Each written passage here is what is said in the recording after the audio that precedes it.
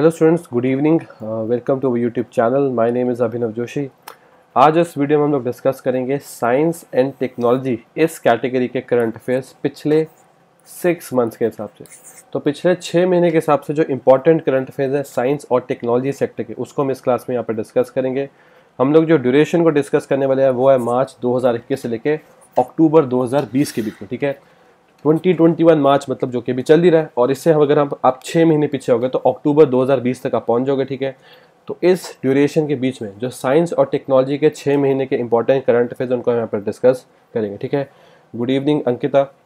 तो स्टूडेंट्स ये मैं, ये जो सीरीज़ है, कैसे चलती है, मैं आपको थोड़ा सी सीरीज़ को मैं बता देता हूँ। तो हम क्या करते हैं सिक्स मंथ्स की हमने कैटेगरीज बनाई हुई है। कैसी कैसी कैटेगरीज हमारे पास साइंस है इंटरनेशनल है, फिर नेशनल है डिफेंस है स्पोर्ट्स है ठीक है, उसके अलावा अपॉइंटमेंट्स कैटेगरी है इंपॉर्टेंट डेट्स की कैटेगरी है तो इस तरह से टोटल बारह कैटेगरीज बनाई गई ठीक है?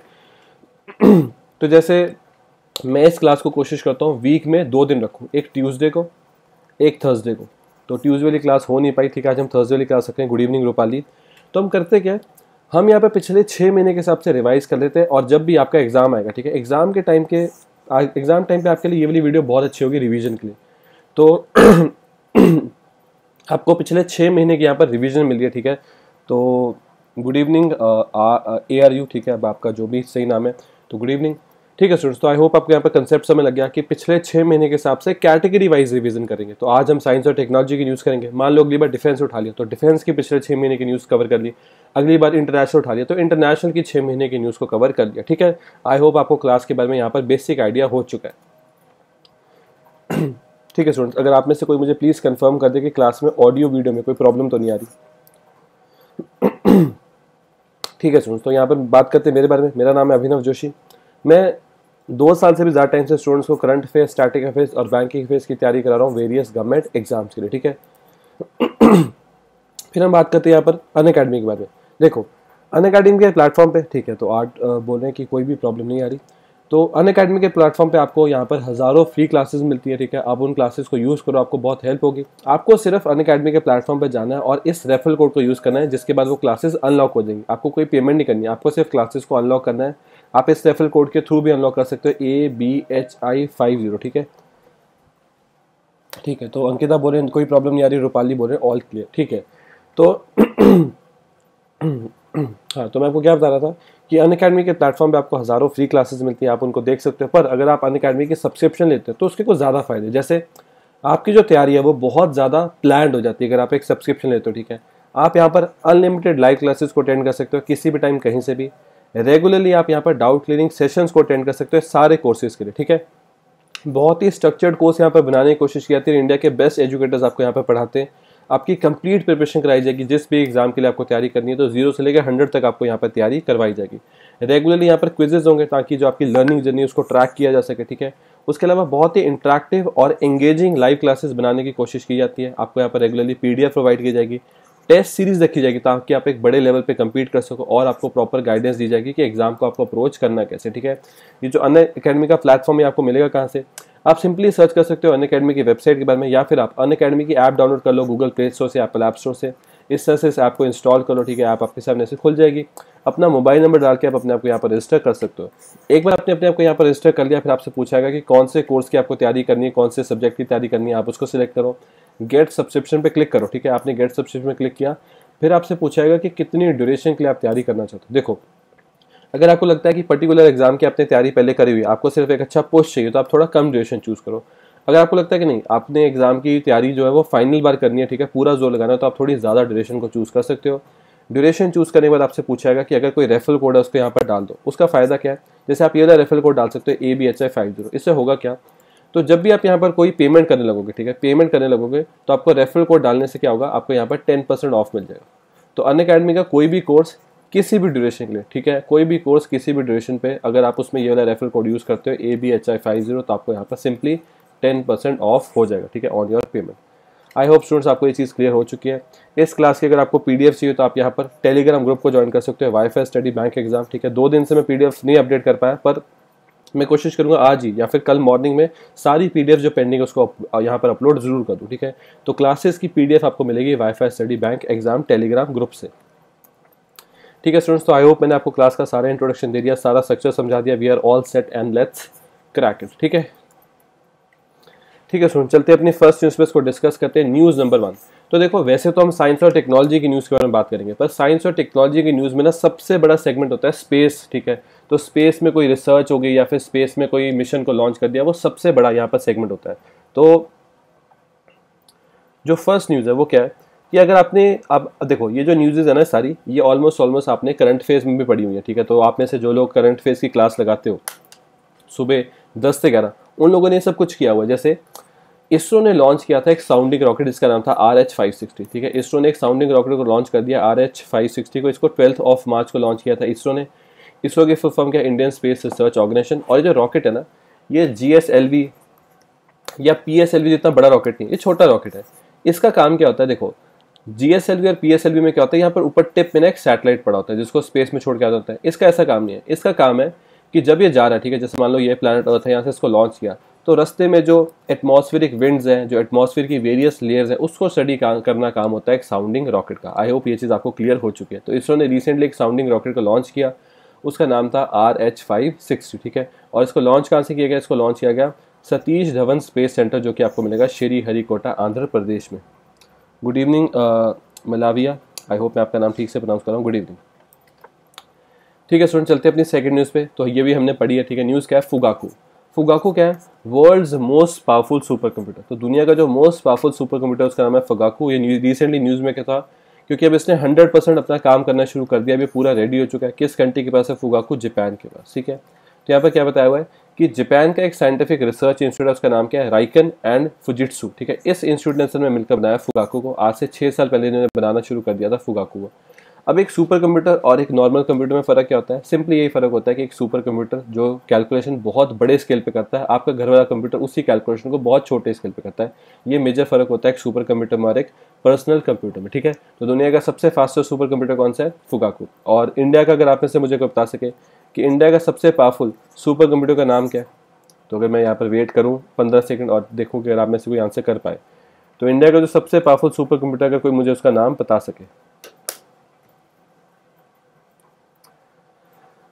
ठीक है तो उसका नाम है परम सिद्धि, ठीक है? वो इंडिया का सबसे पावरफुल सुपर कंप्यूटर है। चलते हैं नेक्स्ट न्यूज़ पे। इसरो और नासा की न्यूज़ ठीक है? आपको पता होगा, इसरो और नासा मिलकर एक मिशन करना चाहते हैं, उस मिशन बिल्कुल सही, परम एट एट थाउज़ेंड सीरीज़ तो परम सिद्धि हमारी कंट्री का फास्टेस्ट सुपर कंप्यूटर है। कुछ टाइम पहले उसको दुनिया के जो टॉप 500 सुपर कंप्यूटर्स है, उसकी उसकी रैंकिंग आई थी तो हमारे वाला शायद सिक्सटी थर्ड रैंक पर था, ठीक है?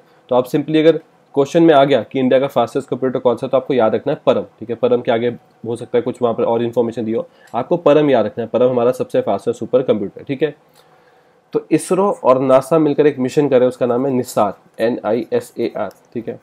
N I S A R क्या है? एन मतलब नासा आई मतलब इसरो, और एस ए आर क्या है? एस ए आर मतलब सिंथेटिक अपेचर रडार तो इसरो और नासा मिलकर एक रडार को यहाँ पर स्पेस में लॉन्च करेंगे 2022 में लॉन्च किया जाएगा निसार मिशन को।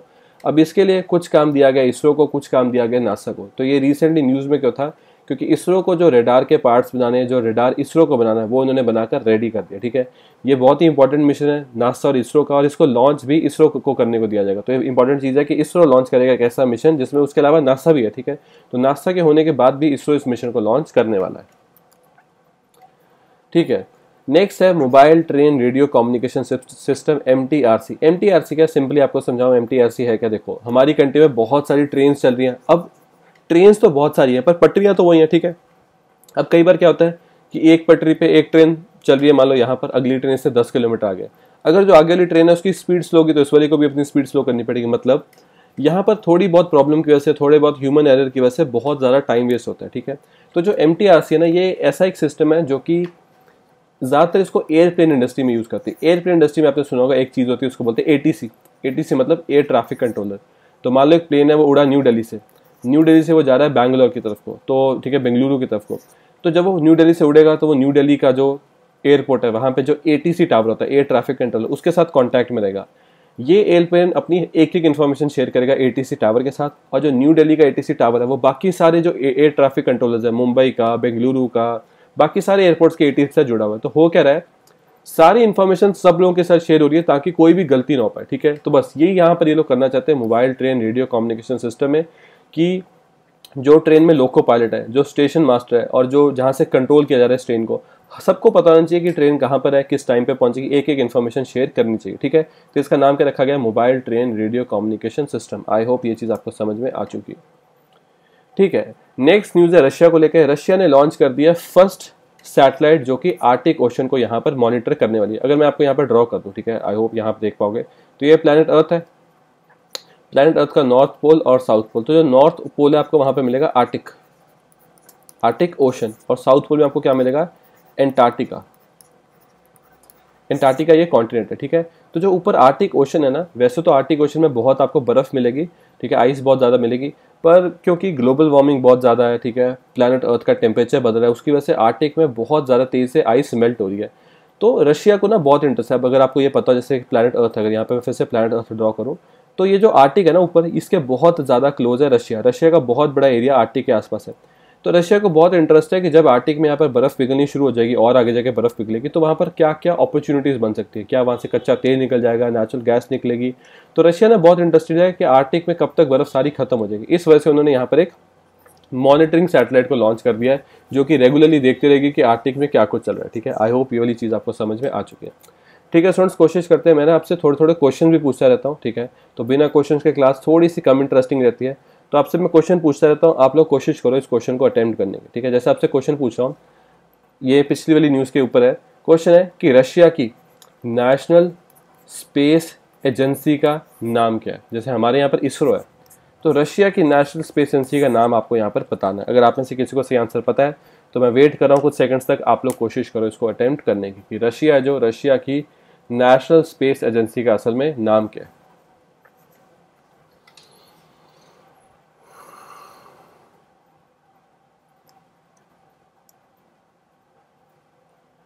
ठीक है तो अगर आप में से किसी को भी इसका आंसर आता है कि रशिया की नेशनल स्पेस एजेंसी का नाम क्या है तो आप लिख देना, मैं चलता हूँ अपने नेक्स्ट करंट फिर। नेक्स्ट न्यूज़ क्या है? पी एस एल वी आपको पता है पी एस एल वी मतलब पोलर सैटेलाइट लॉन्च व्हीकल तो इसरो के पास दो तरह के लॉन्च व्हीकल्स होते हैं या फिर दो तरह के रॉकेट्स होते हैं। एक होता है पी एस एल वी वो तो आपको यहाँ पर दिख रहा है। फिर एक होता है जी एस एल वी जो जी एस एल वी ना, ये आपको कहाँ पर मिलेगा? जो चंद्रयान टू का मिशन था ना, चंद्रयान टू के कभी फ़ोटो देखना, वो जी एस एल रॉकेट है, वो थोड़ा ज़्यादा बड़ा होता है, ज़्यादा पावरफुल होता है, ठीक है? पी एस एल होता है पोलर सैटेलाइट लॉन्च व्हीकल और जी एस एल वी क्या होता है? जियो सिंक्रोनस लॉन्च व्हीकल तो स्टूडेंट्स मैं देख रहा हूँ कि आप में से किसी ने भी अटैम्प्ट अब तक नहीं किया है, ठीक है? कि रशिया की गुड इवनिंग दिव्या। कि रशिया की नेशनल स्पेस एजेंसी का नाम क्या अब तक किसी ने अटैम्प्ट नहीं किया तो मैं आपको सी आंसर बता देता हूँ। वैसे लिखा भी हुआ था पिछले न्यूज़ में, उसका नाम है रॉस कॉस्मोस रॉस कॉसमोस ठीक है? तो रॉस कॉस्मोस क्या जैसे हमारे यहाँ पर इसरो रशिया में है रॉस कॉस्मोस और और अगर कंट्रीज़ की बात करें, जैसे जापान में जाक्सा मिलेगा आपको, ठीक है? यूएसए में नासा मिलेगा और चाइना में क्या चाइना में सी एन एस ए ठीक है? चाइनीज़ नेशनल स्पेस एडमिनिस्ट्रेशन तो इस तरह से दुनिया की बहुत सारी कंट्रीज़ के पास अपनी अपनी स्पेस की ऑर्गेनाइजेशन एग्जिस्ट करती है, ठीक है? तो P S L V C fifty one ये क्यों फ़ेमस था? ये जो P S L V C fifty one rocket था फ़ेमस क्यों था? क्योंकि इस मिशन के अंदर इसरो ने क्या किया था? इसरो ने लॉन्च कर दिया था एमेजोनिया वन को। एमेजोनिया वन क्या है? ये एक सैटेलाइट है जो कि ब्राज़ील का था। तो ये जो एमेजोनिया वन थे ब्राज़ील ने इसरो को बोला था कि आप प्लीज़ हमारे इसको लॉन्च कर दो। बदले में ब्राज़ील ने कुछ पेमेंट भी करी होगी, ठीक है? तो इस वजह से न्यूज़ में था P S L V C fifty one अगर आपसे पूछा है कि इसरो ने रिसेंटली एक सैटेलाइट को स्पेस में लॉन्च किया जिसका नाम है एमेजोनिया वन वो किस कंट्री से बिलोंग करती है? क्या उसका सही आंसर है? आपको चार पाँच कंट्री दे देंगे, ठीक है? हो सकता है आपको बोलें यूएसए ब्राज़ील वेनेजुला ठीक है? तो आपको बताना होगा इसका सही आंसर है। ब्राज़ील, ठीक है? तो रिसेंटली इसरो ने ब्राज़ील के लिए लॉन्च करी थी एमेजोनिया वन अब एमेजोनिया वन का नाम एमेजोनिया वन क्यों रखा हुआ है? आपको बताओगा ब्राज़ील में एक बहुत बड़ा फॉरेस्ट उसको बोलते हैं अमेजोन रेन फॉरेस्ट तो जो अमेजोन रेन फॉरेस्ट है ना, बहुत बड़ा जंगल है, उसको अमेजोन रेन फॉरेस्ट में ना आग लगने की बहुत दिक्कत है। तो बस ये लोग चाहते हैं कि सैटेलाइट के थ्रू ये लोग रेगुलरली यहाँ पर देखते रहें कि अगर अमेज जो अमेजोन रेन फॉरेस्ट है, कहीं वहाँ पर आग तो नहीं लगी, या फिर अगर लग गई है तो उसको कैसे रोकना है, ठीक है? नेक्स्ट नासा जो कि यूएसए की नेशनल स्पेस एजेंसी है, उनका जो परसिवरेंस रोवर है, वो लैंड कर चुका है मार्स पे। तो आपको पता होगा, ये हुआ था पिछले महीने मतलब पिछले महीने फेब के टाइम पे, जब तीन कंट्रीज़ मार्स पहुँची थी। सबसे पहले पहुँचा था यूएई यूनाइटेड अरब एमिरेट्स फिर पहुँचा था चाइना और फिर पहुँचा था यूएसए ठीक है? तो यहाँ पर बात की जा रही है यूएसए वाले मिशन की। यूएसए वाले मिशन का नाम था परसिवरेंस तो ऐसा दिखता है कुछ परसिवरेंस ये एक बहुत बड़ा रोवर है, ठीक है? तो इन्होंने सीधे अपना रोवर ही भेज दिया। कोई इसमें लैंडर कुछ नहीं, सीधे रोवर भेज दिया तो रोवर वहाँ जाके बहुत सारा काम करेगा रिसर्च करेगा, ठीक है? तो नासा का जो परसिवेरेंस लोवर है रोवर है, वो लैंड कर चुका है मार्स के सरफेस ठीक है? कब हुआ था? ये हुआ था एटीन ऑफ़ फेबरी 2021 को। अब ये रोवर बड़ी सारी रिसर्च करेगा। देखो मार्स के ऊपर इतना इंटरेस्ट पता है क्यों है? मार्स के ऊपर इतना इंटरेस्ट इसलिए है क्योंकि ऐसा माना जाता है कि कभी ना कभी, आज से काफ़ी साल पहले मार्स के ऊपर लाइफ ने ज़रूर एग्जिस्ट किया हुआ तो ये कारण है जिसकी वजह से मार्स के ऊपर इतने सारे मिशन को भेजा है, ठीक है? आई होप ये चीज़ आपको क्लियर हो चुकी है। तो नासा के बारे में थोड़ी सी इन्फॉर्मेशन यहाँ पर दी गई है, ठीक है? नासा के हेडक्वार्टर्स आपको मिलेंगे वाशिंगटन डीसी यूनाइटेड स्टेट्स में। नासा के फाउंडर का नाम है ड्वाइट डी आइसन हाइबर और नासा को बनाया गया था फ़र्स्ट ऑफ़ अक्टूबर 1958 को। आई होप ये चीज़ आपको क्लियर हो चुकी है। ठीक है स्टूडेंट्स चलते हैं अपनी नेक्स्ट न्यूज़ पर इसको डिस्कस करते हैं। संदेश। संदेश क्या है? संदेश असल में एक मैसेजिंग ऐप है, जैसा व्हाट्सएप है ना व्हाट्सएप बिल्कुल वैसा ही संदेश पर संदेश को बनाया जाएगा, बनाया जा रहा है इंडियन गवर्नमेंट के द्वारा। तो इंडियन गवर्नमेंट ने बनाया संदेश को, ठीक है? जो व्हाट्सएप है, वो तो आपको पता है ग्लोबल ऐप है, वो तो पूरी दुनिया में काम करता है, ठीक है? Good good mean good evening sweety तो जो व्हाट्सएप है, वो तो काम करता है पूरी दुनिया में, ठीक है? पर जो संदेश है ना, संदेश काम करेगा इंडिया में, और इसको इंडियन गवर्नमेंट ने बनाया, ठीक है? तो इससे होगा क्या? इससे होगा ये कि इंडियंस का थोड़ा सा ज़्यादा इंटरेस्ट रहेगा संदेश में, ठीक है? इंडियंस थोड़ा सा ज़्यादा यूज़ कर पाएँगे संदेश को, आपको पता है। कुछ टाइम पहले व्हाट्सएप ने इस तरह की पॉलिसी निकाल दी कि हम अपना जो भी डाटा है वो फेसबुक के साथ भी शेयर करना चाहते हैं।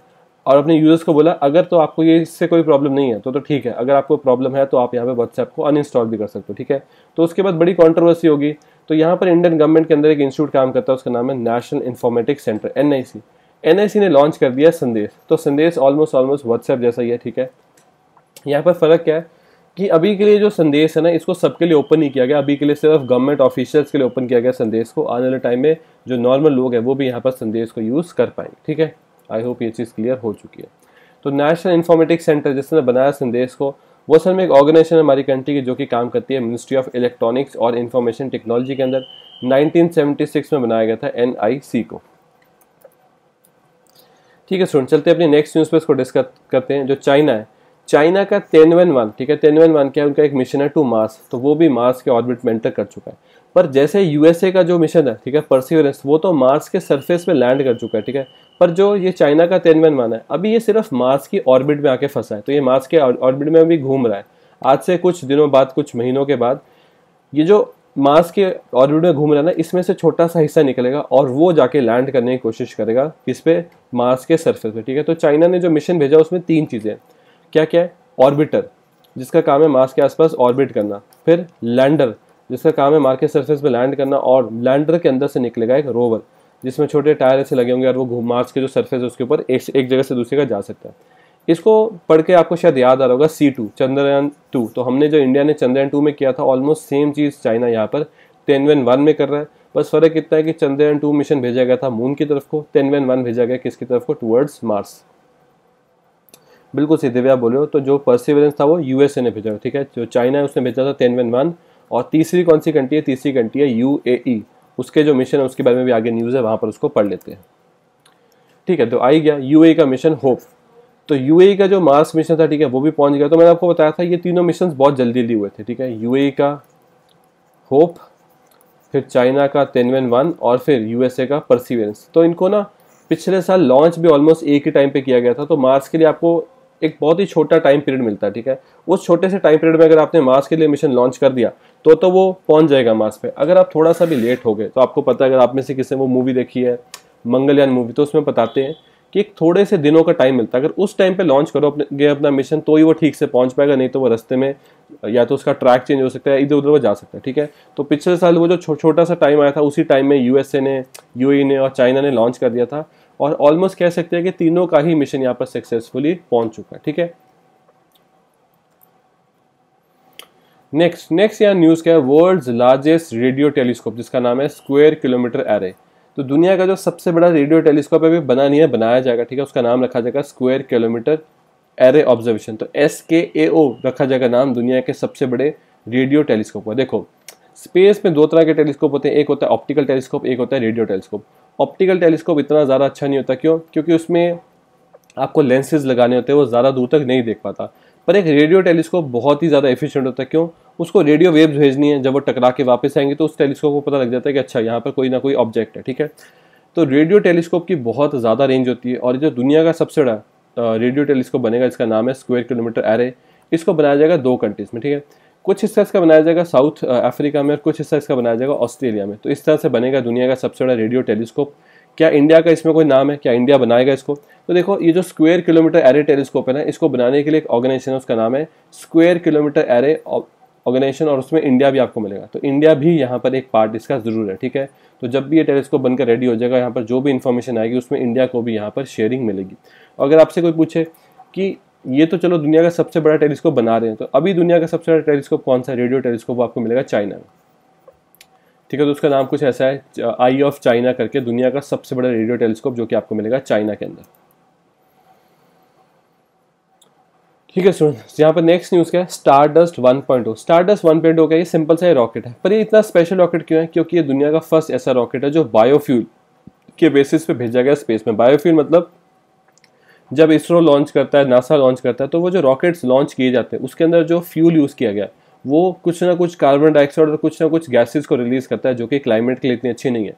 तो इसका सोल्यूशन क्या है? आप कुछ ऐसा फ्यूल यूज़ करो जो कि मतलब बायोफ्यूल है मतलब वो इन्वायरमेंट को नुकसान नहीं कर रहा। तो दुनिया का फ़र्स्ट रॉकेट जिसको लॉन्च किया गया था यूएसए में, क्या यूएसए में नासा ने लॉन्च किया नहीं यूएसए की प्राइवेट कंपनी ने लॉन्च किया है और इसको बोला जा रहा है कि दुनिया का फ़र्स्ट रॉकेट है जो कि बायोफ्यूल पर चलता है। इसका नाम क्या है? इसका नाम है स्टारडस्ट वन पॉइंट ओ और आपको मैं बता दूँ, इसरो भी कुछ हद तक यहाँ पर काम कर रहा है कि ग्रीन प्रपल्शन टेक्नोलॉजी पे, ठीक है, उसके ऊपर आगे करंट अफेयर ज़रूर बना, मैं दिखाता हूँ आपको। नेक्स्ट नेक्स्ट यहाँ पर न्यूज़ है स्पेस के बारे में। स्पेस आपको पता होगा, एक प्राइवेट कंपनी है, ठीक है स्पेस का एक प्राइवेट कंपनी है स्पेस की, जिसके मालिक है इलॉन मस्क तो स्पेस ने लॉन्च कर दिया वन फोर्टी सैटेलाइट्स को एक सिंगल रॉकेट आप खुद सोचो, एक लॉन्च किया, ठीक है, एक लॉन्च किया और उसमें यहाँ पर वन फोर्टी थ्री सैटेलाइट्स को लॉन्च कर दिया स्पेस ने। तो ये रिकॉर्ड ना वैसे इसरो ने बनाया था 2017 में। एक एक ही लॉन्च में मैक्सिमम सैटेलाइट्स लॉन्च की थी इसरो ने 104 उसका रिकॉर्ड तोड़ दिया यहाँ पर स्पेस एक्स ने। उन्होंने जो सैटेलाइट लॉन्च किया वो है वन और स्पेस एक्स के मालिक कौन है? स्पेस एक्स के मालिक है इलॉन मस्क और स्पेस एक्स के रॉकेट का नाम क्या था? जिस रॉकेट में इन्होंने लॉन्च किया उसका नाम है फैल्कन नाइन। तो फैल्कन नाइन बहुत ही सक्सेसफुल रॉकेट है स्पेस एक्स का। ठीक है तो स्पेस एक्स के बारे में थोड़ी सी इन्फॉर्मेशन दी गई है, ठीक है। स्पेस एक्स को बनाया गया था 2002 में फाउंडर का नाम है इलॉन मस्क और इसके हेडक्वार्टर्स आपको मिलेंगे कैलिफ़ोर्निया यूएस में ठीक है। और इस टाइम पे जो इलॉन मस्क है, वो वर्ल्ड्स रिचेस्ट पर्सन भी है। उनकी दो बहुत बड़ी कंपनी है स्पेस एक्स है टेस्ला है, वैसे तो और भी कंपनीज़ है। जैसे बोरिंग कंपनी है, ठीक है। फिर उनकी कंपनी उसका नाम है न्यूरोलिंक बहुत सारी कंपनीज़ है यहाँ पर इलॉन मस्क की। नेक्स्ट इंडिया और यूनाइटेड अरब एमिरेट्स ने एक एम साइन किया था। अब तो इस एम को टाइम हो गया। जनवरी में इसको साइन किया गया था ताकि साइंटिफिक और टेक्निकल कॉपरेशन दोनों कंट्रीज़ अपने अंदर बढ़ा सके, ठीक है? यूएई क्या है? यू एक कंट्री है, ठीक है? यू की फुल फॉर्म है यूनाइटेड अरब एमिरेट्स ये कंट्री है जिसकी कैपिटल है अबू धाबी ठीक है? और इनके यहाँ पर करेंसी कौन सी यूज़ की जाती है? दिरहम तो यू में जो करेंसी यूज़ होती है वो है दिरहम ठीक है स्टूडेंट्स आगे चलते हैं। नेक्स्ट नेक्स्ट क्या है? इसरो अडॉप्ट करेगा नहीं रूपाली तो स्टारडस्ट को स्पेस ने लॉन्च नहीं किया था, मैं चलता हूँ स्टारडस्ट वाली न्यूज़ पे। तो इसको एक अलग ही ऑर्गेनाइजेशन थी तो उसका नाम आपके लिए इतना इंपॉर्टेंट भी था, ठीक है? यहाँ पर उसका नाम ऐसे लिखा भी हुआ कहीं। तो उसका नाम कुछ ऐसा था ब्लू शर्ट ऐसा कुछ करके था। तो ब्लू ब्लू डस्ट करके कुछ ऐसा नाम था। आपके लिए इतना इंपॉर्टेंट नहीं आपके लिए रॉकेट का नाम इंपॉर्टेंट है, ठीक है? क्योंकि जितने भी मैंने क्वेश्चन देखे, सब पे स्टार डस्ट स्टार डस्ट ही लिखा हुआ था, ठीक है? तो स्टार डस्ट के बारे में आपसे कुछ क्वेश्चन पूछा सकता है, किस कंपनी ने किया तो वो कंपनी इतनी फ़ेमस है नहीं, ठीक है? उसका नाम कुछ ब्लू से है तो चलो मैं अगली बार जो नाम है, वो भी आपको ज़रूर बता दूँगा, ठीक है? तो वो कंपनी है जिसने कि स्टार डस्ट रॉकेट को लॉन्च किया स्पेस ने इसको लॉन्च नहीं किया। एक ऐसे मान लो कि यूएस में स्पेस का एक स्टार्टअप है, जिसने लॉन्च किया यहाँ पर स्टारडस्ट को। ठीक है स्टूडेंट्स न्यूज़ क्या है? इसरो। इसरो अडॉप्ट करेगा 100 अटल टिंकरिंग लैब्स तो आपको पता होगा, अटल इनोवेशन मिशन के अंदर अटल टिंकरिंग लैब्स को खोला जाता है और उसमें से 100 इसरो अडॉप्ट करेगा। मतलब ये जो 100 लैब्स है, इसको इसरो सेटअप करवाएगा ताकि जो हमारी कंट्री के स्टूडेंट्स हैं, उनकी स्पेस में जो स्पेस रिसर्च है, उसमें थोड़ी सी ज़्यादा इंटरेस्ट बढ़े। ठीक है? तो इसरो अडॉप्ट करेगा 100 अटल टिंकरिंग लैब्स को। ये रिसेंटली अनाउंस किया था यहाँ पर इसरो ने। ठीक है? तो इसरो के बारे में थोड़ी सी स्टार्टिंग इन्फॉर्मेशन आपको पता होनी चाहिए। इसरो के आपको हेडक्वार्टर्स मिलेंगे बेंगलुरु में फाउंडर थे विक्रम साराभाई डायरेक्टर का नाम है के एस सिवान। और उसके अलावा हाँ और आपको यहाँ पर ये पता होना चाहिए कि इसरो को बनाया गया था 1969 में, यहाँ नहीं लिखा हुआ ना हाँ तो इसरो को बनाया गया था 1969 फिफ्टींथ ऑफ़ अगस्त 15 अगस्त 1969 को बनाया गया था इसरो को। तो यहाँ पर मैंने एक कटआउट लगाया हुआ है किसका? अटल इनोवेशन मिशन का। तो अटल इनोवेशन मिशन के अंदर हमारी कंट्री में बहुत कुछ किया जाता है। आपको याद होगा जब हमने चाइना की ऐप्स को बैन किया था तो अटल इनोवेशन मिशन के अंदर ऐप चैलेंज भी आया था कि नई नई ऐप्स बनाओ, ठीक है? तो बहुत सारे चैलेंजेस आते रहते हैं यहाँ पर अटल इनोवेशन मिशन के अंदर। ठीक है स्टूडेंट्स नेक्स्ट चलते हैं। NASA to test most powerful rocket ever तो अब तो ये टेस्ट हो चुका है जनवरी की न्यूज़ है। नासा ने अब तक का सबसे पावरफुल रॉकेट रिसेंटली यहाँ पर टेस्ट किया था। अभी के लिए उसका नाम क्या रखा गया है? स्पेस लॉन्च सिस्टम आगे जाकर इसको एक ऑफिशियल नाम भी दिया जाएगा। तो नासा प्लान कर रहा है कि आने वाले टाइम में जो मार्स पे मिशन भेजने हैं मार्स पे ह्यूमंस को जो भेजना है, उसके अलावा जो मून पे मून पे वर्ल्ड के फ़र्स्ट वुमेन को भेजना है, वो सब करेगा नासा यहाँ पर इसी रॉकेट के थ्रू मैं आपको थोड़ा रॉकेट के बारे में और दिखा देता हूँ। तो स्पेस लॉन्च सिस्टम है, ये दुनिया का सबसे पावरफुल रॉकेट है, इसको क्लेम किया जा रहा है। 322 फीट की इसकी हाइट होगी 25 इसमें इंजन लगाए जाएँगे, ठीक है? और इसको किसने बनाया? नासा ने बनाया। और भी इसके बारे में इन्फॉर्मेशन लिखी हुई है कि इसकी स्पीड कितनी हो सकती है, ठीक है? सारी इन्फॉर्मेशन लिखी हुई है। चलो, ये हमारे लिए इतनी काम की यहाँ पर नहीं है। तो नासा के बारे में थोड़ी सी स्टार्टिंग इन्फॉर्मेशन एक बार हमने पहले करी, फिर से वाशिंगटन डीसी में इसके आपको एडिटर्स मिलेंगे। देखो, जो वाशिंगटन डीसी है, वो एक तरह से एक सिटी है, जहाँ पर यूएसए की कैपिटल है, ठीक है? पर एक वाशिंगटन ना स्टेट भी है। तो वाशिंगटन स्टेट अलग है और वाशिंगटन डीसी एक सिटी है। तो वाशिंगटन स्टेट उनकी प्रॉपर स्टेट है। यूएसए में जो 50 स्टेट्स है, उसमें से एक है वाशिंगटन पर जो वाशिंगटन डीसी है, वो उनकी कैपिटल है। ठीक है, और इसको बनाया गया था 1958 में। ठीक है स्टूडेंट्स नेक्स्ट न्यूज़ यहाँ पर क्या है? इंडिया ने अप्रूव करी थी टू कोविड नाइन्टीन वैक्सीन और आज भी ये दो ही है। ठीक है, आज भी नंबर दो से तीन नहीं हुआ। तो ये देखो, ये जो न्यूज़ है ना थर्ड ऑफ़ जनवरी की न्यूज़ है। थर्ड ऑफ़ जनवरी को हमारी कंट्री में जो drug controller general of India जिसको कि बोलते हैं डी सी जी आई तो drug controller general of India है, जो कि असल में जो C D S C U है, ठीक है सेंट्रल ड्रग स्टैंडर्ड अथॉरिटी है, जो उसके बॉस को बोलते हैं यहाँ पर drug controller general of India इन्होंने परमी इन्होंने यहाँ पर अलाउ किया दो कोविड नाइन्टीन वैक्सीन को कि अब उनका इंडिया में एमरजेंसी यूज़ किया जा सकता है। एमरजेंसी यूज़ क्यों बोल रहे हैं? क्योंकि इन वैक्सीन ने हमने ट्रायल तो पूरे किए नहीं थे, ठीक है? तो इन वैक्सीन हमने ट्रायल तो पूरे किए नहीं थे तो बिना ट्रायल के अगर ये वैक्सीन को अप्रूव किया जाएगा तो उसको इमरजेंसी यूज़ ही बोलेंगे, ठीक है? तो दो वैक्सीन को अप्रूव किया गया था कोवैक्सीन और कोविडशील्ड जो कोवैक्सीन है, उसको बनाया था और बनाया मतलब उसको बनाया भारत बायोटेक ने। उनकी हेल्प करी यहाँ पर आईसीएमआर ने Indian council of medical research Bharat biotech आपको मिलेगा हैदराबाद में। और जो कोविडशील्ड है कोविडशील्ड की रिसर्च और डेवलपमेंट करी है ऑक्सफोर्ड यूनिवर्सिटी ने और एस्ट्राजेनिका ने। ये दोनों आपको मिलेंगे यूनाइटेड किंगडम में। पर कोविडशील्ड को बड़े स्केल पे मैन्युफैक्चर करता है सीरम इंस्टीट्यूट ऑफ़ इंडिया जो कि आपको मिलेगा पुणे में, ठीक है? आई होप ये भी चीज़ आपको समझ में आ चुकी है। तो देखो drug controller general of India क्या होते हैं? क्या drug controller general of India कोई ऑर्गेनाइजेशन नहीं? Drug controller general of India असल में बॉस होते हैं, एक अथॉरिटी के, उस अथॉरिटी का नाम क्या है? उस अथॉरिटी का नाम है central drug standard control organisation ठीक है? तो इसके बॉस को बोलते हैं drug controller general of India हमारी कंट्री के अंदर। Next metrological centre in Ladakh तो लद्दाख जो है ना लद्दाख में पहला मेट्रोलॉजिकल सेंटर खोल दिया किसने? आईएमडी ने इंडियन मेट्रोलॉजिकल डिपार्टमेंट ने। तो मेट्रोलॉजिकल सेंटर में किया क्या जाएगा कि लद्दाख के अंदर जो क्लाइमेट है, ठीक है, आने वाले टाइम में, उसको यहाँ पर स्टडी किया जाएगा रेगुलरली स्टडी करते रहेंगे, ठीक है? तो मेट्रोलॉजिकल सेंटर की बहुत ज़्यादा ज़रूरत थी लद्दाख में और पहला अभी यहाँ पर खोला गया। इसको इनाग्रेट किसने किया था आपसे पूछा सकता है। तो इसको यहाँ पर इनाग्रेट किया था हमारी कंट्री के union minister of earth sciences जिनका नाम है डॉक्टर हर्षवर्धन तो अर्थ साइंस मिनिस्ट्री और उसके अलावा जो हेल्थ मिनिस्ट्री है, दोनों यहाँ पर देखते हैं डॉक्टर हर्षवर्धन, ठीक है? उन्होंने इनाग्रेट किया था यहाँ पर मेट्रोलॉजिकल सेंटर इन लद्दाख और वर्चुअली इनाग्रेट किया था, ठीक है? वो खुद नहीं गए थे वर्चुअली उन्होंने यहाँ पर इनाग्रेट किया था इस सेंटर को।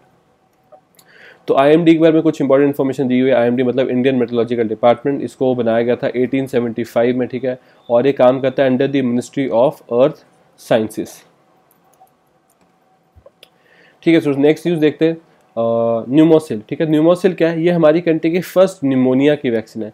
तो वैसे तो निमोनिया की वैक्सीन दुनिया भर में अवेलेबल है, पर इंडिया ने जो खुद बनाई है निमोनिया की वैक्सीन पहली उसका नाम है न्यूमोसिल तो गवर्नमेंट आने वाले कुछ सालों में बहुत बड़े स्केल पे निमोनिया के अगेंस्ट वैक्सीनेशन का प्रोसेस शुरू करेगी, ताकि निमोनिया को खत्म किया सके, ठीक है? किसने बनाया? इसको बनाया सीरम इंस्टीट्यूट ऑफ़ इंडिया ने, जो कि इस टाइम पे कोविशील्ड वैक्सीन को भी बहुत बड़े स्केल पे बना रहे हैं, ठीक है? इसको लॉन्च किसने किया था? तो आप देख सकते हो, इसको, इस वैक्सीन को लॉन्च किया था हमारे हेल्थ मिनिस्टर हर्षवर्धन ने। नेक्स्ट हमारी कंट्री के फ़र्स्ट ड्राइवरलेस ट्रेन ठीक है? तो इंडिया के जो फ़र्स्ट ड्राइवरलेस ट्रेन है, उसको इनाग्रेट किया था प्राइम मिनिस्टर नरेंद्र मोदी ने 28 दिसंबर 2020 को। हमारी कंट्री के फ़र्स्ट ड्राइवरलेस ट्रेन को इनाग्रेट किया गया था। कहाँ पर? इसको असल में इनाग्रेट किया गया दिल्ली मेट्रो की मेजेंटा लाइन पे। तो अगर आप इस ट्रेन को देखो, इसमें कोई भी लोको पायलट की ज़रूरत नहीं है। और अगर एक लोको पायलट बैठा भी है तो उसका वहाँ पर कोई काम नहीं ठीक है? बस वो सिर्फ़ सेफ्टी के लिए बैठे तो ये हमारी कंट्री की फ़र्स्ट ड्राइवरलेस ट्रेन थी, जिसको कि magenta line of Delhi metro पर इनाग्रेट किया गया। Green propulsion technology of ISRO तो मैंने आपको बताया था इसरो भी इस टाइम पे काम कर रहा है कि हम ग्रीन प्रपल्शन के साथ रॉकेट्स को लॉन्च कर सकें। मतलब जो इसरो के रॉकेट्स को लॉन्च किया जाता है स्पेस में, ठीक है? वो इस तरह का फ्यूल ना यूज़ करें जो इन्वायरमेंट को हम करें, नहीं। इसरो के जो चीफ है डॉक्टर के सिवन उन्होंने बताया था इसरो भी इस टाइम पे काम कर रहा है ग्रीन प्रपल्शन टेक्नोलॉजी में इसका मतलब क्या है? इसका मतलब ये है सिंपली कि जो इसरो के लॉन्चेज होंगे, उसके थ्रू जो बहुत सारी एमिशन निकलती है, बहुत सारी गैसेज निकलती है, वो किसी भी तरह से एनवायरमेंट को डैमेज ना करे, ठीक है? ये यहाँ पर बताना चाहते थे इसरो के चीफ जिनका नाम है डॉक्टर के सॉरी डॉक्टर नहीं के सिवान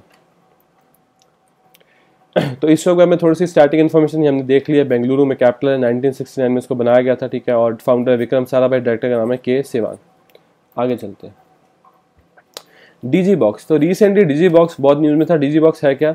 ये एक स्टोरेज प्लेटफॉर्म है, जैसे आपको पता है गूगल की ड्राइव होती है, ठीक है? एप्पल का आई क्लाउड होता है, उसी तरह से डीजी बॉक्स तो डीजी बॉक्स यहाँ पर बेटर क्यों है, ठीक है? डीजी बॉक्स बेटर इसलिए सिंपली क्योंकि डीजी बॉक्स को यहाँ पर नीति आयोग ने बनवाया। अब आपको पता है आजकल इन सबने पेमेंट लेनी शुरू कर दिया मतलब पेमेंट तो पहले भी लेते थे, बहुत ज़्यादा पेमेंट लेनी शुरू कर दिया है ये गूगल ड्राइव ने या फिर एप्पल के ऐप आई क्लाउड ने। पर डीजी बॉक्स के जो प्लान्स है ना, वो बहुत ही सस्ते हैं और बहुत अच्छे हैं। तो एक तरह से गवर्नमेंट ने यहाँ पर फील किया कि जो क्लाउड स्टोरेज ठीक है, इसको बोलते हैं क्लाउड स्टोरेज तो गवर्नमेंट ने यहाँ पर फील किया कि जो क्लाउड स्टोरेज का पूरी मार्केट है ना, यहाँ पर गवर्नमेंट को भी कुछ अपनी तरफ़ से योगदान देना चाहिए तो अनाउंस किया गया डीजी बॉक्स को, ठीक है? नेक्स्ट नेक्स्ट अभी तो आपको पता ही है यूके में एक new strain of corona virus आया था. पहले सबसे पहले ये सब यूके से शुरू हुआ. फिर इसके बाद ये जो नया स्ट्रेन था मतलब ऐसा ही एक नया स्ट्रेन ब्राज़ील में भी पाया गया, फिर साउथ अफ्रीका में पाया गया, बहुत सारी जगहों पे new strain of corona virus आने शुरू हो गए। अब ये वायरस का नया स्ट्रेन क्या होता है ना, ये मैं आपको अगली स्लाइड में बताता हूँ, अगर आपको याद हो यूके में जो new strain of corona virus आया था, वो इतना ज़्यादा फैला कि 26 जनवरी की जो परेड होनी थी, जिसमें बोरिस जॉनसन को आना था, वो नहीं आ पाए। क्यों नहीं आ पाए? इसी वजह से नहीं आ पाए, क्योंकि यूके में जो new strain of corona virus है, वो बहुत ज़्यादा तेज़ी से फैलना शुरू हो गया था। अब बोरिस जॉनसन बोरिस जॉनसन तब तो नहीं आ पाए, पर अब वो उनके ऑफ़िस ने यहाँ पर अप्रूवल उनके ऑफ़िस ने अपडेट दिया है कि अप्रैल के एंड में आएँगे बोरिस जॉनसन इंडिया में, ठीक है? तो वो छब्बीस जनवरी पे तो नहीं आ पाए, पर अप्रैल एंड में बोरिस जॉनसन इंडिया को ज़रूर विज़िट करने वाले ठीक है? तो मैं आपको बता रहा था कि एक वायरस म्यूटेट कैसे करता है, या फिर एक वायरस का न्यू स्ट्रेन कैसे आता है, ये हम देखते हैं। देखो, जो वायरस का इन्फेक्टेड सेल है ना, वो हमेशा आपकी बॉडी पे एक टारगेट सेल को ढूंढेगा। जैसे ही वो टारगेट सेल को इन्फेक्ट कर देगा, फिर वो अपनी मल्टीपल कॉपीज बनाने की कोशिश करेगा ताकि और टारगेट सेल को यहाँ पर इन्फेक्ट किया जा सके, ठीक है? तो ये वायरस था। इस वायरस से अपनी कॉपी बनानी शुरू करी, बहुत सारी कॉपी बनाई। पर कई बार क्या होता है, कई बार ये वायरस जो होता है, ये अपनी एग्जैक्ट कॉपी नहीं बना पाता। इसकी कॉपी थोड़ी सी अलग हो जाती है तो क्या बोलते हैं वायरस ने म्यूटेट कर दिया, ठीक है? तो जब वायरस की एग्जैक्ट कॉपी नहीं बनती थोड़ी सी अलग कॉपी बन जाती है तो हम बोलते हैं कि ये म्यूटेटेड वर्जन ऑफ़ वायरस है, ठीक है? तो जब ये म्यूटेट करेगा, इसकी प्रॉपर्टीज़ चेंज हो जाएँगी, और हो सकता है ये वायरस और ज़्यादा डेंजरस भी हो जाए। ठीक है? जुपिटर और सैटन ठीक है? दिसंबर 21 की न्यूज़ है पिछले साल की। तो जुपिटर और सैटन जो थे वो बहुत ज़्यादा क्लोज आ गए थे एक दूसरे के। इस तरह से दिख रहा था स्पेस में।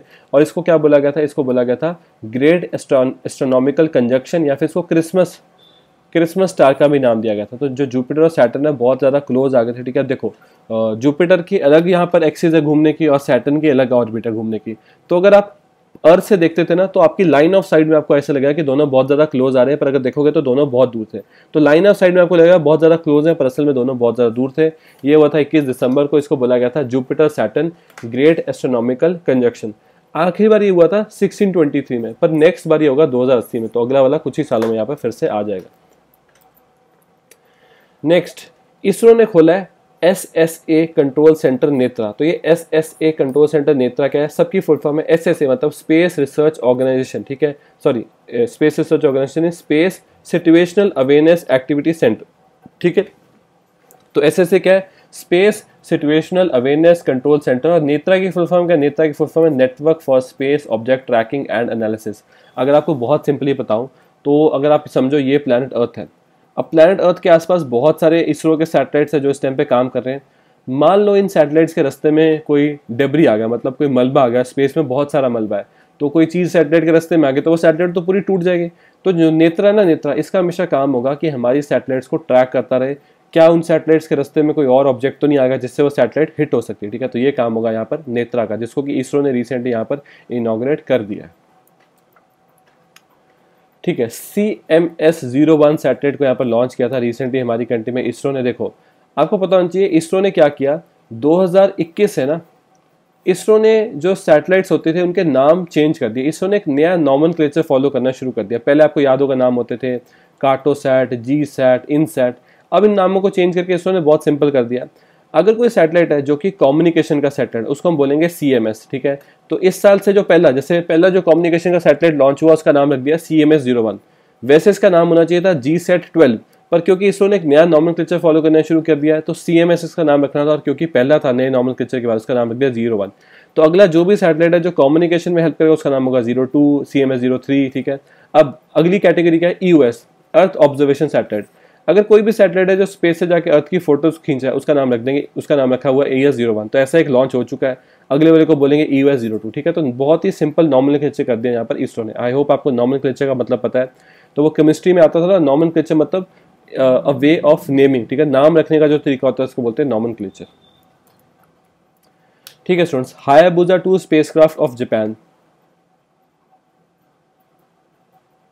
बिल्कुल सही तो आप यहाँ पे बता रहे हो दिव्या, कि 40 सेकंड यहाँ पे भी लिखा हो जाएगा 40 second communication satellite of ISRO इसका नाम क्या रखा है? C M S zero one तो स्टूडेंट्स देखो, ये क्लास में तो हम ज़्यादा, बहुत ज़्यादा डिस्कशन नहीं कर सकते, क्योंकि छः महीने करंट फ़ेज़ है, बहुत लंबी क्लास हो जाएगी।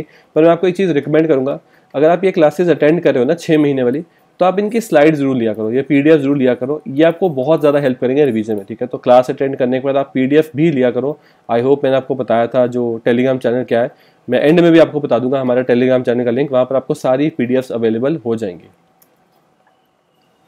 ठीक है सुन नेक्स्ट न्यूज़ क्या है? Hayabusa two spacecraft of Japan Japan का एक स्पेसक्राफ्ट है, इसका नाम है हायाबूजा टू इसने बड़ी इंटरेस्टिंग चीज़ करी। ये अर्थ से लॉन्च किया गया इसको, और अर्थ से काफ़ी दूर एक एस्ट्रॉइड था, उसका नाम था राइगू ये रायगू के सरफेस पे गया, ठीक है? रायगू के सरफेस पे गया, वहाँ जाके से एक सैंपल कलेक्ट किया, और ये वापस वो सैंपल को अर्थ के सरफेस पे डिलीवर करके गया। पूरा नहीं अर्थ पे वापस आया था, इसने स्पेस से लॉन्च कर दिया, ठीक है? तो हायाबू, हायाबूजा टू स्पेस का बहुत ही न्यूज़ में था क्योंकि रायगू एस्ट्रॉयड से इसने सैंपल कलेक्ट करके वापस उसको अर्थ के सरफेस पे सैंपल को छोड़ दिया। अब, ये रायगू इतना इंपॉर्टेंट क्यों है? क्योंकि साइंटिस्ट के हिसाब से जो रायगू एस्ट्रॉयड है ना, ये इसकी जो डेट थी, जब बना था ये, बहुत पुरानी थी। ऐसा माना जाता है कि जब प्लानट अर्थ बनी, उससे भी पहले का है रायगू, ठीक है? तो रायगू से बड़ी सारी इन्फॉर्मेशन थी जो कि साइंटिस्ट को यहाँ पर मिली और जो जापान की नेशनल स्पेस एजेंसी है जाक्सा, उसके पास सैंपल पड़े किस चीज़ के सैंपल ये जो रायगू एस्ट्रॉयड से जो भी मटेरियल यहाँ पर इकट्ठा हुआ है। नेक्स्ट नेक्स्ट यहाँ पर क्या है? I R N S S ठीक है? I R N S S satellite constellation of India को रिकोगनाइज कर दिया यहाँ पर आई एम एन बहुत सिंपली आपको बताता हूँ, देखो। जैसे आपको बताया जो जीपीएस है जी पी जीपीएस किसने बनाया? यूएसए ने। उसी तरह से इंडिया ने भी अपना जीपीएस बनाया, उसका नाम है I R N S S या फिर Indian regional navigation satellite system अभी जो हमारा I R N S S है या फिर जो इंडिया का खुद का जीपीएस है, इसको रिसेंटली यहाँ पर इंटरनेशनल मेरीटाइम ऑर्गेनाइजेशन ने अपना अप्रूवल दे दिया। उनके हिसाब से कि ये वाला सिस्टम एक अच्छा सिस्टम और इसको जो जहाज़ होते हैं, जो बड़े बड़े समुद्री जहाज़ होते हैं, उनको यूज़ करना चाहिए, ठीक है? तो आईएमओ क्या है? इंटरनेशनल मेरिटाइम ऑर्गेनाइजेशन जो ये शिप्स बड़े बड़े शिप्स एक जगह से दूसरी जगह जाते हैं, उसको मैनेज करता है आईएमओ तो बहुत बड़ी चीज़ है कि आईएमओ ने यहाँ पर इंडिया का जो रीजनल सैटेलाइट सिस्टम है, उसको अपना रिकोगशन दे दिया, ठीक है? मैं आपको दिखा देता हूँ आई कैसा दिखता है। तो I R N S S के अंदर टोटल सात सैटेलाइट्स को लॉन्च किया इंडिया ने। जैसे जीपीएस तो पूरी दुनिया में काम करता है I R N S S या फिर इसको नाविक भी बोलते हैं, ठीक है? नाविक। तो जैसे जीपीएस तो पूरी दुनिया में काम करता है, पर नाविक अभी इंडिया और इंडिया के आसपास की कंट्रीज़ में ही काम करता है। अगर आगे जाके इसमें और सैटेलाइट्स बढ़ा देंगे तो पूरी दुनिया में काम करना शुरू कर देगा, ठीक है? तो आपको याद रखना है I R N S S ठीक है? इसकी प्रॉपर फुल फॉर्म भी है। और ये इंडिया का क्या है? इंडिया का खुद का जीपीएस सिस्टम है। नेक्स्ट देखो, आ गया परम सिद्धि। तो क्या था? परम सिद्धि। इंडिया ए आई ठीक है? Artificial intelligence super computer among world top five तो और यहाँ पर रैंक में मुझे ठीक किया था सिक्सटी थी। तो दुनिया के 500 सबसे ज़्यादा पावरफुल कंप्यूटर्स में से इंडिया का जो परम सिद्धि है, उसका रैंक था सिक्सटी थर्ड रैंक तो आपसे एग्जैक्ट क्वेश्चन ऐसे एग्ज़ाम में भी पूछा सकता है। दुनिया का जो सबसे पावरफुल सुपर कंप्यूटर उसका नाम क्या है? फुगाकू फुगाकू ये किसके पास है? जापान के पास। सबसे powerful super computer of the world next Gaganyaan mission आपको पता होगा गगनयान मिशन क्या है? ये हमारी कंट्री का फ़र्स्ट मैंड मिशन होने वाला है। मैंड मिशन मतलब जिस मिशन में आप ह्यूमंस को स्पेस में भेजोगे, ठीक है? इसका नाम होने वाला है गगनयान मिशन अब गगनयान मिशन के अंदर हमने पहली बार इंडिया यहाँ पर ह्यूमंस को स्पेस में भेजना चाहता है, ठीक है? पहले तो ये मिशन 2020-21 में ही लॉन्च होने वाला था, पर अभी कोरोना वायरस की वजह से मिशन की जो डेडलाइन है वो आगे बढ़ चुके हैं, ठीक है? तो अब हो सकता है 2023 में या फिर 2024 में जाके गगनयान मिशन लॉन्च होगा। तो ये मैंड मिशन का मतलब क्या है? जो गगनयान का रॉकेट लॉन्च होगा ना, उसमें ह्यूमंस होंगे, ठीक है? उसमें ह्यूमंस होंगे। पहली बार इसरो ऐसा कुछ करने जा रहा है जो ह्यूमंस को उनमें भेजा जाएगा स्पेस के अंदर। वो जो ह्यूमंस होंगे, तीन ह्यूमंस होंगे और वो कुछ सात दिनों के लिए स्पेस में ऑर्बिट करके वापस प्लानट अर्थ पे आ जाएँगे, ठीक है? तो ये हमारी कंट्री का फ़र्स्ट मैंड मिशन होने वाला है। दस हज़ार करोड़ का यहाँ पर बजट था। न्यूज़ क्या है? न्यूज़ यहाँ पर ये है कि इसरो ने बहुत सारी ऑर्गेनाइजेशन को रिस्पॉन्सिबिलिटी दी है कि गगनयान मिशन के लिए आप ये पार्ट बनाओ या ये पार्ट बनाओ। तो एलएनटी जो कि हमारी कंट्री की बहुत बड़ी प्राइवेट कंपनी है एलएनटी ने यहाँ पर एक बूस्टर सेगमेंट डिलीवर कर दिया है गगनयान मिशन के लिए टू इसरो, ठीक है? तो एक बूस्टर सेगमेंट है जो गगनयान में यूज़ किया जाएगा। वो इसरो को डिलीवर कर दिया यहाँ पर, किसने? एलएनटी ने। एल एन टी की फुल फॉर्म भी है लास्ट एंड टोब्रो ठीक है? तो देखो, इस तरह से गगनयान मिशन होगा। पहले तो इसकी लॉन्च होना था 2022 में, पर अब इसके लॉन्च को आगे शिफ्ट कर दिया गया तो कोरोना वायरस इन सब की वजह से लॉन्च थोड़ा डिले हो गया तो अर्थ के सरफेस से इसको लॉन्च किया जाएगा, वहीं से, जहाँ से ज़्यादातर सेटलर्स लॉन्च होते हैं इसरो के, श्री हरिकोटा से। और ये कुछ पाँच से सात दिनों के लिए स्पेस के मतलब अर्थ के आसपास ऑर्बिट करेगा। तीन यहाँ पर एस्ट्रोनॉट्स होंगे और ये वापस जो अर्थ है उस पर लैंड करेगा। कहाँ लैंड करेगा? तो गुजरात के आसपास का जो ओशन एरिया वहाँ पर आके लैंड कर जाएगा। ठीक है स्टूडेंट्स तो एम टेक्नोलॉजी के बारे में बात की गई, ठीक है? एम मतलब मैसेंजर आर तो मैसेंजर आर न्यूज़ में क्या होता है? देखो, वैसे तो स्टैंडर्ड वैक्सीन बनाने का तरीका क्या होता है कि मान लो ये वैक्सीन का वायरस है, ठीक है? मान लो ये वैक्सीन का वायरस है, आप इसको बहुत ज़्यादा वीक कर दो और किसी ह्यूमन की बॉडी में डाल दो। जब ये बहुत ज़्यादा वीक हो जाएगा तो ये ह्यूमन की बॉडी में ज़्यादा के ज़्यादा तंग नहीं कर पाएगा और ह्यूमन की बॉडी इम्यून हो जाएगी। उसकी इम्यूनिटी काम करना शुरू कर देगी। फिर उस ह्यूमन में अगर रियल का कोरोना वायरस भी आ गया तो उस ह्यूमन को ज़्यादा फ़र्क नहीं पड़ने वाला। हम बोलेंगे उसकी इम्यूनिटी डेवलप होगी। तो ये तो होता है स्टैंडर्ड तरीका यहाँ पर वैक्सीन बनाने का। एक होता है M R N A technology M R N A मतलब मैसेंजर आर टेक्नोलॉजी इसमें क्या होता है? इसमें भी वैक्सीन बनाई जाती है, वो थोड़ी अलग तरह की वैक्सीन होती है। वो आपकी बॉडी में जाके एक पर्टिकुलर मैसेज देती है। आपकी बॉडी के वाइट ब्लड सेल्स को और आपकी बॉडी की एंटीबॉडीज़ को कि आप बहुत ज़्यादा एक्टिव हो जाए ठीक है? तो जो एम टेक्नोलॉजी ने इसको पहली बार यूज़ किया गया था यहाँ पर कोविड नाइन्टीन के वैक्सीन बनाने के लिए, ठीक है? तो मेडर्ना ने और उसके अलावा और दुनिया की दो तीन ऑर्गेनाइजेशन ने यूज़ किया था एमआरएनए टेक्नोलॉजी को। ठीक है? तो यहाँ पे बताया जा रहा है कि स्पेस ठीक है? पिछले साल 2020 में स्पेस बन गया दुनिया की पहली ऐसी प्राइवेट कंपनी दुनिया की पहली प्राइवेट स्पेस की कंपनी जो कि यहाँ पर एस्ट्रोनॉट्स को इंटरनेशनल स्पेस स्टेशन तक लेके गए। नहीं तो आपको पता होगा जैसे ये प्लानट अर्थ है। प्लानट अर्थ से 300 से लेकर साढ़े तीन किलोमीटर की दूरी पे, ऊंचाई पे हमेशा एक बहुत बड़ी लेबोरेटरी घूमती रहती है, उसका नाम है इंटरनेशनल स्पेस स्टेशन तो आईएसएस में सारा साल साइंटिस्ट काम करते हैं और आईएसएस में जो मिशन होते थे, या तो नासा भेजता था या जो रशिया की ऑर्गेनाइजेशन है रॉस कॉस्मोस भेजती है ठीक है? पर पहली बार यहाँ पर आईएसएस की तरफ़ मिशन भेजा एक प्राइवेट स्पेस कंपनी है, जिसका नाम क्या है स्पेस तो ये बहुत इंपॉर्टेंट चीज़ है। दुनिया में आज तक कोई भी स्पेस कंपनी ऐसा काम नहीं कर पाई जो कि स्पेस ने यहाँ पर करके दिखाया। तो पिछले साल ये नवंबर की न्यूज़ है। ठीक है? इसरो ने लॉन्च किया यहाँ पर all weather earth observation satellite इसका नाम क्या है ई वन जो कि मैं आपको बता रहा था। तो ई वन यहाँ पर लॉन्च करी थी इसरो ने पिछले साल, ठीक है? तो ये भी आपको पता होना चाहिए। है क्या ये? वैसे तो इसका नाम कुछ और था, इसका नाम होता था रीसेट टू बी आर पर इसरो ने नया नॉर्मल फॉलो किया है तो नए नॉर्मल के हिसाब से ई ओ एस इसका सही नाम होना चाहिए था। तो देखो, यहाँ पर आपको थोड़ा सा पता होना चाहिए, इसरो के पास ना बहुत तरह के रॉकेट्स थे, पहले ISRO S L V use करता था, फिर ए एस एल वी फिर इसरो ने पी एस एल वी बनाया पोलर सेटल लॉन्च व्हीकल इसको बहुत ज़्यादा यूज़ किया, फिर G S mark two are फिर आया जी एस मार्क थ्री तो अभी इसरो ज़्यादातर ये दो रॉकेट्स यूज़ करता है जी एस मार्क थ्री और पी एस एल वी ठीक है? आपको दोनों पता होना चाहिए पी एस एल वी मतलब polar satellite launch vehicle G S L V मतलब जियो सिंक्रोनस लॉन्च व्हीकल। तो ये तो चलो निसार वाला तो आपको बता दिया, है ना?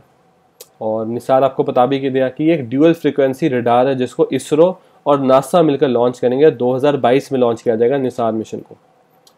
ठीक है रेज 2020 मिशन था जो पिछले साल हुआ। रेज क्या था? ये एक आर्टिफिशियल इंटेलिजेंस ठीक है? तो आर्टिफिशियल इंटेलिजेंस का सबमिट है रेस ठीक है? जिसको कि इंडियन गवर्नमेंट ने होस्ट किया था। देखो आर्टिफिशियल इंटेलिजेंस या फिर मशीन लर्निंग होती क्या है? आर्टिफिशियल इंटेलिजेंस या मशीन लर्निंग बहुत सिंपली जब एक मशीन खुद सोचना शुरू कर दे, अब तो हम सब कुछ मशीन में प्रोग्राम करते हैं, पर अगर एक मशीन खुद सोचना शुरू कर दे तो वो होता है आर्टिफिशियल इंटेलिजेंस ठीक है? आने वाले टाइम में बहुत ज़्यादा रिसर्च की जाएगी आर्टिफिशियल इंटेलिजेंस में और बहुत ज़्यादा पैसा भी लगाया जाएगा इसमें। तो इंडिया चाहता है कि हमारा अभी हम भी इसके साथ जुड़े, ठीक है? तो इंडिया ने एक बहुत बड़ा इवेंट होस्ट किया था, उसका नाम था रेस 2020 जो कि एक आर्टिफिशियल इंटेलिजेंस पे सबमिट था। तो आपसे पूछा जा सकता है कि रेस 2020 क्या था? तो एक सबमिट था जो कि पिछले साल इंडिया ने होस्ट किया था ऑन आर्टिफिशियल इंटेलिजेंस ठीक है स्टूडेंट्स नेक्स्ट न्यूज़ क्या है? शुक्रयान शुक्रयान क्या है? शुक्रयान इसरो का एक मिशन है जिसको इसरो लॉन्च करेगा 2025 में टुवर्ड्स वीनस ठीक है?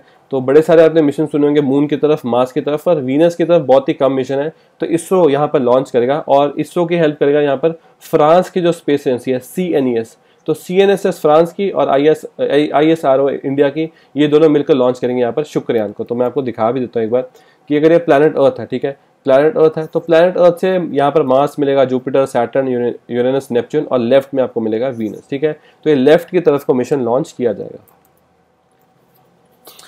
ठीक है, यहाँ पर न्यूज़ क्या है कि पिछले साल पिछले साल यहाँ पर जो चंद्रयान टू था, ठीक है, चंद्रयान टू ने क्या किया उसने सितंबर में अपना एक साल पूरा कर दिया मून के आसपास। तो आपको याद होगा, जो चंद्रयान टू है, इसको लॉन्च किया गया था 2019 में, ठीक है, पर चंद्रयान टू यहाँ पर हुआ क्या था, चंद्रयान टू ठीक से मून के सरफेस पे लैंड नहीं कर पाया। तो चंद्रयान टू के अंदर दो पार्ट थे, एक था ऑर्बिटर एक था लैंडर ठीक है तो जो ऑर्बिटर था वो तो ठीक से घूम रहा है अभी मून के आसपास, पर जो लैंडर था वो ठीक से लैंड नहीं कर पाया। तो यहाँ पर ये बता रहे हैं कि ऑर्बिटर तो आज भी ठीक से काम कर रहा है और कम से कम आने वाले छः सात सालों तक ठीक से काम करता रहेगा। पर जो लैंडर है, ठीक है, आपको याद होगा उस लैंडर का नाम क्या था? तो उसका नाम था विक्रम हाँ विक्रम लैंडर था और उसके अंदर एक रोवर भी था, उसका नाम था प्रज्ञान। तो विक्रम ठीक से लैंड नहीं कर पाया। अगर विक्रम लैंड करता तो अंदर से छोटा सा रोवर प्रज्ञान भी बाहर आता, ठीक है, और वो भी थोड़ी थोड़ी रिसर्च करता है यहाँ पर मून के सरफेस में। तो जो चीज़ें चंद्रयान टू में पूरी नहीं हो पाई, उनको पूरी करने के लिए चंद्रयान थ्री मिशन को लॉन्च किया जाएगा। तो यहाँ पर पूरा दिखाया जा रहा है कि किस तरह से चंद्रयान टू को लॉन्च किया पहले अर्थ के सरफेस से लॉन्च किया, फिर उसकी ऑर्बिट को बड़ा करते रहे। इतना बड़ा किया कि वो एक टाइम पे अर्थ की ऑर्बिट से बाहर निकल के मून की ऑर्बिट में एंटर कर गया, ठीक है? तो इस तरह से मिशन को लॉन्च किया जाता है स्पेस के अंदर। ठीक है स्टूडेंट्स यहाँ पर क्या बताया जा रहा है? कि एक कंपनी है, प्राइवेट कंपनी इंडिया की, उसका नाम है स्काई रूट एरोस्पेस तो ये स्काई रूट एरोस्पेस ना बहुत ज़्यादा क्लोज है कि ये भी अपना खुद का मिशन लॉन्च कर सकते हैं। बहुत ज़्यादा क्लोज तो वैसे नहीं बोलना चाहिए, जितना इसरो ने अचीव किया, उससे तो अभी ये काफ़ी पीछे है। पर इन्होंने पहली एक कंपनी बनी है जिन्होंने यहाँ पर एक रॉकेट इंजन को टेस्ट किया तो स्काई रूट एरोस्पेस ने क्या किया है? इन्होंने first upper stage rocket engine को टेस्ट किया जो कि इंडिया में एक प्राइवेट कंपनी ने किया तो आपसे पूछा सकता है कि इंडिया में कौन सी प्राइवेट कंपनी है जो बहुत ज़्यादा क्लोज बहुत ज़्यादा तो नहीं, जो क्लोज है कि वो अपना खुद का लॉन्च कर सकते हैं आने वाले दो तीन सालों में तो इसका नाम है स्काई रूट एरोस्पेस और हम चाहते हैं कि इसरो के अलावा और कंपनीज़ आए ताकि इसरो के ऊपर जो बहुत सारा प्रेशर है, वो थोड़ा कम हो पाए। नेक्स्ट नेक्स्ट न्यूज़ है यहाँ पर इन स्पेस इन स्पेस क्या देखो? इन स्पेस है इसरो की कमर्शियल आर्म तो इसरो के लिए जो प्रोजेक्ट्स है ना, वो लेकर आया करेगा इन स्पेस तो जैसे अगर मान लो किसी कंट्री को सैटेलाइट लॉन्च करना है तो वो सीधे इसरो को नहीं बोलेगा कि हमारे सैटेलाइट लॉन्च कर दो हमसे इतने पैसे लो. वो काम दिया जाएगा इन स्पेस को तो आपको पता होना चाहिए इन स्पेस का असल में काम क्या है. इसकी फुल फॉर्म भी है इन स्पेस की. Indian national space promotion and authorisation ठीक है, ये इसकी फुल फॉर्म है इन स्पेस की. तो इन स्पेस क्या है? इन स्पेस इसरो की कमर्शियल आर्म है. ठीक है, और ये तो चलो हो गया, ये तो लॉन्च हो गया, वहाँ पहुँच भी गए तो पुरानी न्यूज़ होगी, ठीक है, हमारे काम के लिए। हाँ न्यूज़ क्या है कि वर्ल्ड लार्जेस्ट क्रायोस्टेट ठीक है? तो यहाँ पे बताया क्या जा रहा है, दुनिया में ना एक मिशन हो रहा है, उसका नाम है ग्लोबल न्यूक्लियर फ्यूजन प्रोजेक्ट आपको पता होगा न्यूक्लियर एनर्जी दो तरह की होती है, एक होती है फ्यूजन एक होती है फ्यूजन तो फ्यूजन मतलब किसी चीज़ का टूटना फ्यूजन मतलब किसी चीज़ का जुड़ना। अभी दुनिया में जो हम न्यूक्लियर एनर्जी यूज़ कर रहे हैं ना, वो ज़्यादातर होती है न्यूक्लियर फ्यूजन ज़्यादातर क्या मैक्सिमम न्यूक्लियर फ्यूजन है शायद ही कहीं न्यूक्लियर फ्यूजन होती हो। पर जो न्यूक्लियर फ्यूजन है ना, वो बहुत ज़्यादा एफिशिएंट है। अभी प्लानट अर्थ पे ह्यूमंस को आता ही नहीं न्यूक्लियर फ्यूजन कैसे यूज़ किया जाता है। अगर हम इसमें एक्सपर्ट हो जाए तो बहुत बड़ा हम, आप कह लो, बहुत ज़्यादा एनर्जी और बननी शुरू हो जाएगी। तो न्यूक्लियर फ्यूजन को समझने के लिए ग्लोबल न्यूक्लियर फ्यूजन प्रोजेक्ट चल रहा है और इंडिया भी इसका एक पार्ट है। तो इंडिया को भी यहाँ पर कुछ कुछ काम दिया जाता है कि आप ये सप्लाई करो, आप ये काम करो। तो इंडिया को काम दिया गया था। दुनिया का सबसे बड़ा क्रायोस्टेट बनाना था, ठीक है? और इंडिया में एक क्रायोस्टेट बन भी गया L and T L and T ने क्रायोस्टेट बनाकर यहाँ पर इस प्रोजेक्ट को डिलीवर कर दिया, ठीक है? तो लार्स एंड टुब्रो ने मेक इन इंडिया इनिशिएटिव के अंदर सक्सेसफुली बना लिया world largest cryostat for global nuclear fusion project तो जो ग्लोबल न्यूक्लियर फ्यूजन प्रोजेक्ट है चल रहा है फ्रांस में, पर इंडिया भी इसका एक एक्टिव मेंबर है, आपको ये चीज़ पता नहीं चाहिए।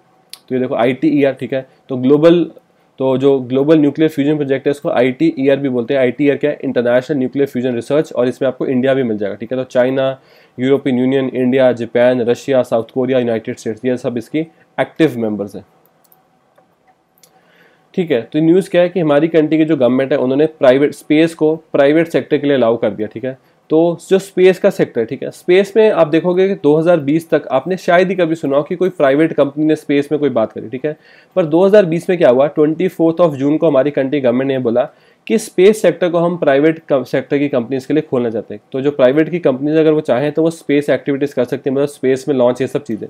और ये भी बोल दिया गया कि इसरो इसरो सपोर्ट भी करेगा, ठीक है? तो अगर मान लो कोई प्राइवेट कंपनी है, वो चाहती है कि उनका सैटेलाइट टेस्ट कर दे इसरो तो इसरो उनको सपोर्ट भी करेगा, ताकि हमारी कंट्री में भी स्पेस में भी प्राइवेट सेक्टर की कंपनीज़ आ सके जिस तरह से यूएसए में इस टाइम पे काम कर रहा है। यूएसए में कौन काम कर रहा है? स्पेस एक्स ठीक है? तो ये गवर्नमेंट ऑफ़ इंडिया का टारगेट है। नेक्स्ट नेक्स्ट न्यूज़ बस ये लास्ट न्यूज़ है इसके बाद इस क्लास बस हम यहाँ पे खत्म करते हैं। इसके बाद मैं आपके डाउट सुन लूँगा। न्यूज़ क्या है? डीआरडीओ डीआरडीओ ने बनाया था सुमेरू पैक ठीक है? अब ये सुमेरू पैक क्या था? वैसे तो आपको पता है लॉकडाउन के टाइम पे बहुत सारी ऑर्गेनाइजेशन ने रिसर्च करी थी नई नई चीज़ें बनाई थी। ये जो डीआरडीओ का सुमेरू पैक था, बहुत न्यूज़ में था।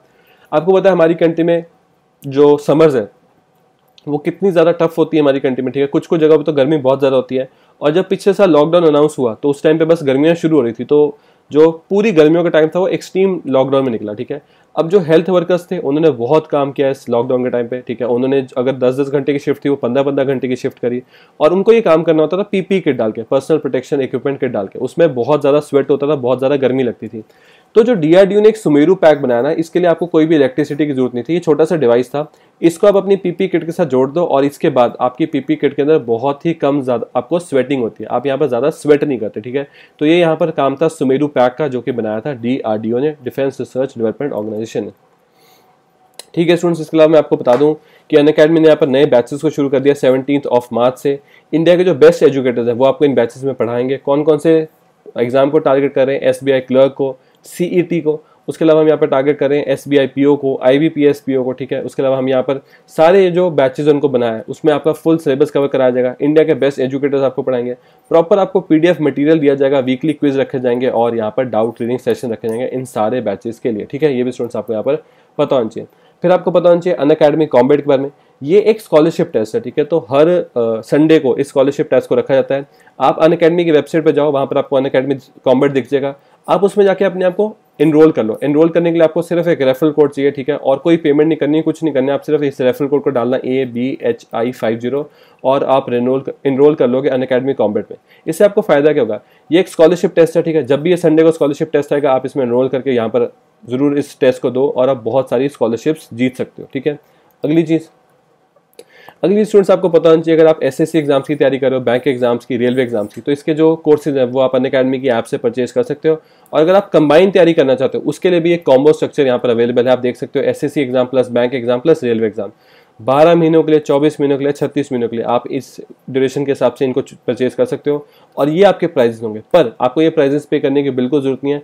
अगर आप यहाँ पर रेफरल कोड यूज़ करते हो A B H I five zero तो इन सब प्राइजेस में टेन परसेंट ऑफ़ हो जाएगा और ये प्राइजेस काफ़ी ज़्यादा कम हो जाएँगे, ठीक है? तो आपको काफ़ी फ़ायदा होगा यहाँ पर, आपके काफ़ी पैसे भी बच जाएँगे।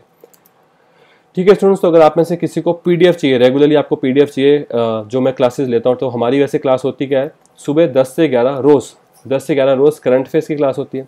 फिर ये मंडे टू सैटरडे फिर हमारी क्लास क्या होती है? ट्यूसडे से ट्यूसडे और थर्सडे ट्यूसडे थर्सडे सिर्फ़ ट्यूसडे और थर्सडे हफ़्ते में दो दिन। हमारी शाम को सात से आठ होती है, ये छः महीने की कैटेगरी जैसे आज वाली क्लास थी। तो अगली बार जब होगी, इसमें कोई और सब्जेक्ट कोई और टॉपिक देख लेंगे डिफेंस इंटरनेशनल से कुछ भी। और फ्राइडे को, ठीक है फ्राइडे को शाम को सात से लेकर साढ़े आठ के बीच में। तो सेवन टू एट थर्टी क्या होता है? Full week current affairs revision तो पूरे वीक की करंट अफेयर्स की रिवीजन मतलब फ्राइडे टू फ्राइडे पिछले फ्राइडे से लेकर अगले फ्राइडे की करंट अफेयर्स की रिवीजन कराते हैं। क्वेश्चन आंसर फॉर्मेट में, ठीक है? तो ये भी आप अटेंड कर सकते हो। तो सारी क्लासेज जो मैं, और हाँ एक और क्लास मैं भूल गया। मंडे को। हफ़्ते में सिर्फ़ एक दिन मंडे को, शाम को 7:30 टू एट सिर्फ़ आधे घंटे की क्लास होती है स्पेशल मैप्स क्लास तो इसमें हम मैप्स को डिस्कस करते हैं। तो ये सारी स्टूडेंट्स क्लास होती है, जो कि मैं इस प्लेटफॉर्म पे लेता हूँ, ठीक है? Wifi study wifi bank exam के जो यूट्यूब चैनल पे लेता हूँ, आप इनको ज़रूर चेकआउट करो। ये क्लासेस आपको हर तरह से हेल्प करेंगे, ठीक है? और अगर आपको स्लाइड चाहिए तो आप यहाँ पर टेलीग्राम चैनल को ज्वाइन कर सकते हो। वाईफाई स्टडी बैंक एग्ज़ाम यहाँ पर मैं सारी जो क्लासेज होती है, उसकी पीडीएफ मटेरियल को प्रोवाइड कर देता हूँ। ठीक है स्टूडेंट्स अगर आप में से किसी को भी कोई डाउट है प्लीज़ अपने डाउट को पूछ लो, नहीं तो मेरी तरफ़ से क्लास में जितना मुझे सिलेबस कवर करना था, वो मैंने कवर कर लिया है।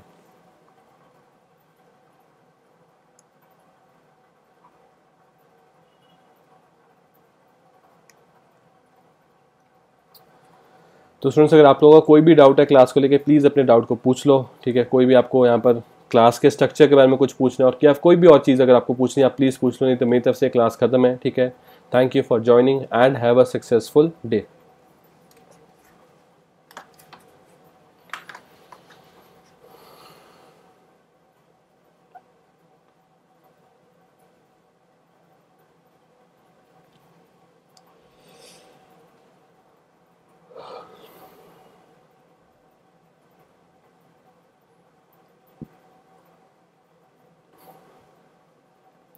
ठीक है स्टूडेंट्स मैं वेट कर रहा हूँ, अगर आप में से किसी को कोई भी डाउट है, कोई भी चीज़ अगर आप पूछना चाहते हो तो अभी आप पूछ सकते हो। नहीं तो मेरी तरफ़ से तो यहाँ पर सिलेबस मतलब आज की क्लास का सिलेबस खत्म हो गया अगर आप में से कोई करंट अफेयर्स की क्लास को ज्वाइन करना चाहते हो तो दस सुबह, कल सुबह दस से ग्यारह हम उस क्लास को रखेंगे।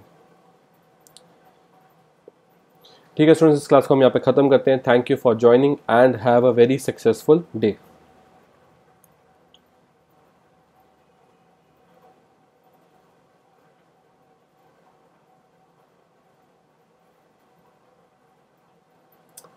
thank you students